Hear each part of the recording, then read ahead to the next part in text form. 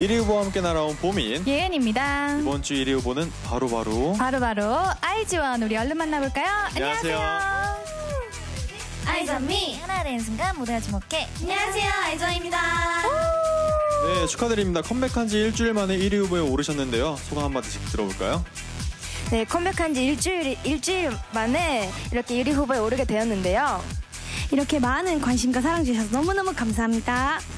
1위 후보에 오를 수 있었던 건 모두 위전 덕분인 거 아시죠? 항상 응원해주시는 위즈한 분들 너무너무 감사해요.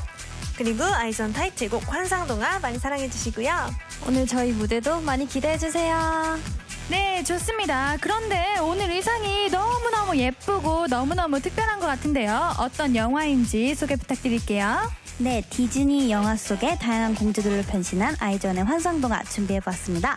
네 저희 12명이 각각 어떤 캐릭터로 변신했는지 다들 궁금하시죠? 많이 아 감사합니다 많이 기대해 주세요 네, 네, 알겠습니다. 이번엔 1위 공약을 들어볼 차례인데요. 저번 활동 때는 다 같이 하트 세레머니를 해서 화제였잖아요. 이번엔 또 어떤 세레머니를 준비하셨는지 들어볼게요.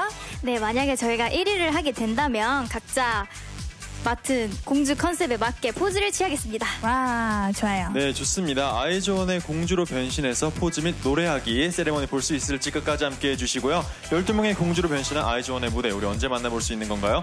반짝반짝 빛나는 아이즈원의 무대를 만나기 전에 뮤직뱅크에서만 볼 수 있는 special stage 빰빰즈의 special 무대가 기다리고 있습니다. 네 잠시 후 아이즈원의 신비로운 무대까지 준비되어 있으니까요 모두 모두 놓치지 말고 조금만 기다려